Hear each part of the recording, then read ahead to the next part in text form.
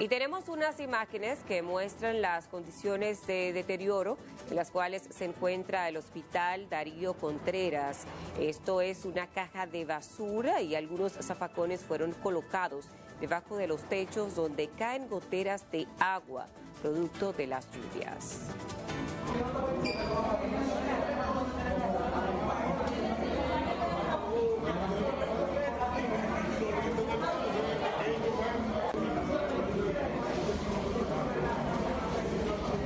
Darío, Darío Contreras, señores, mire cómo está.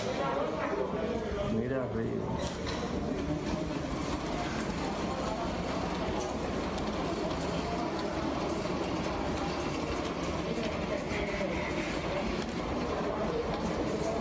Cayendo agua.